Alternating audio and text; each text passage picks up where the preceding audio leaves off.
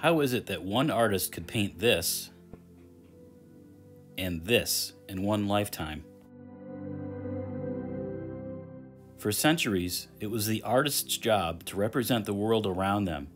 Throughout the years, they got better and better at representation.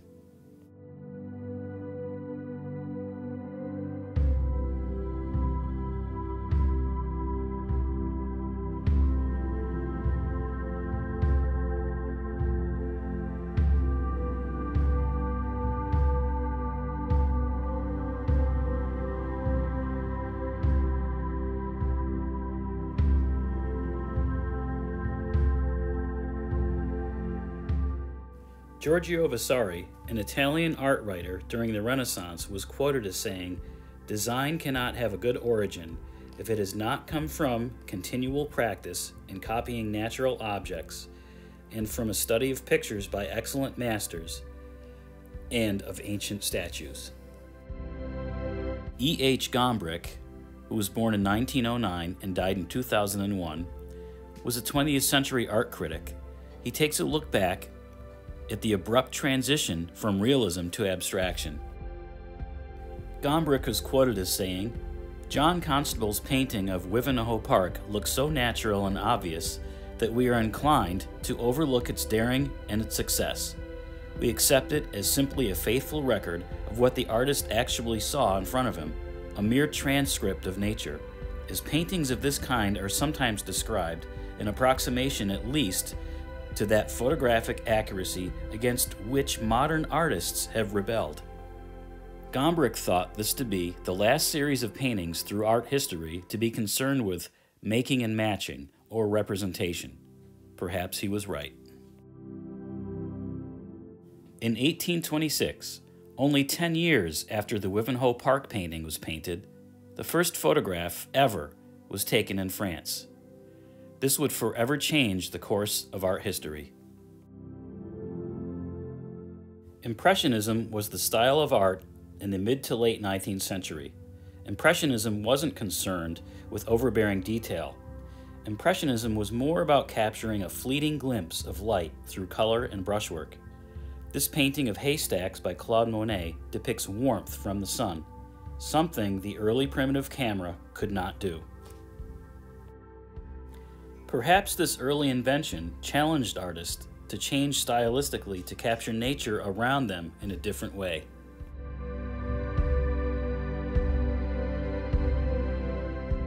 The camera was just one of many technological advancements that affected society and the arts in the late 19th century.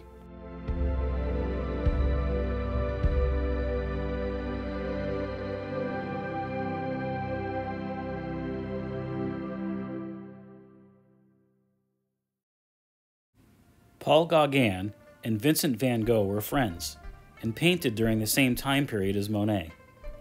However, they were both considered post Impressionists. These two artists propelled the direction of art history further into abstraction.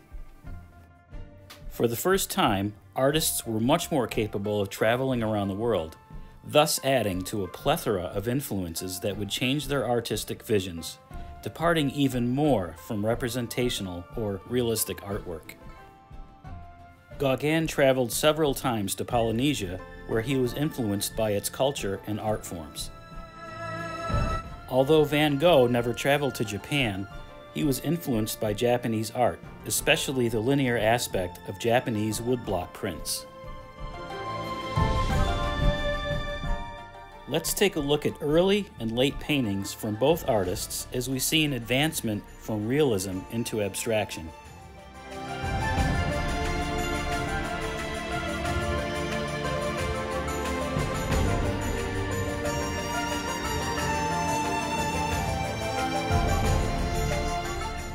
Although Gauguin and Van Gogh were revolutionary in their styles, it was Cezanne, the father of Cubism, that bridged the divide between realism and abstraction. Cezanne took an even further departure from realism as he visually brought paint to the surface while simplifying objects in his paintings into basic geometric shapes. It was Cezanne's artwork that inspired Picasso to invent the style of painting called Cubism. You might be asking yourself throughout this video, what does abstraction actually mean? What is it? Well, abstract art focuses more on an idea or a concept rather than a representation. Abstraction is the ultimate freedom for an artist to express themselves. As we cross over into the 20th century, let's take a look at abstract art and the works of Picasso, Matisse, and Mondrian. Picasso was classically trained at a young age. Both of these paintings were done at 13 years old. In Cubism, Picasso explored the idea of four dimensions, or time. How would a still life look if you could paint it from multiple viewpoints? In addition to the concepts of time and point of view discovered in Cubism, Picasso was also influenced by the ideas of form and structure found in African masks. We can see this influence in his portraiture. Although Picasso started out at a young age painting realistically, he dedicated his life to explore the abstract. He was quoted as saying, It took me four years to paint like Raphael, but a lifetime to paint like a child.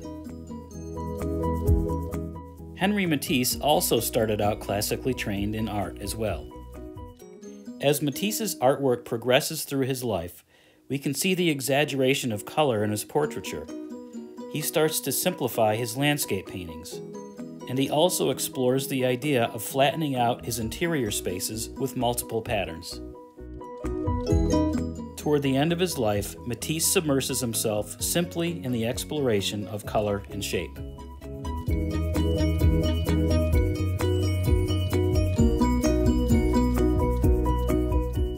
As Mondrian explored the landscape, he found beauty in the linear structure found in trees. Using trees as a visual motif, Mondrian reinvented his compositions by improvising with lines and color, similar to what a jazz musician would do only using scales and notes.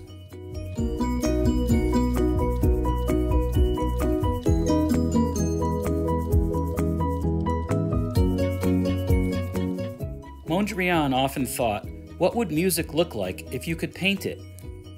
After Mondrian moved to New York City, his late painting titled Broadway Boogie Woogie depicted the street structure of Manhattan and the idea of color repetition and rhythm that would have been found in the early sounds of American jazz and blues music, which Mondrian loved. The artwork of Picasso, Matisse, Mondrian, and many others gave birth to modernism and many other art styles later on in the 20th century, including abstract expressionism, pop art, and postmodernism.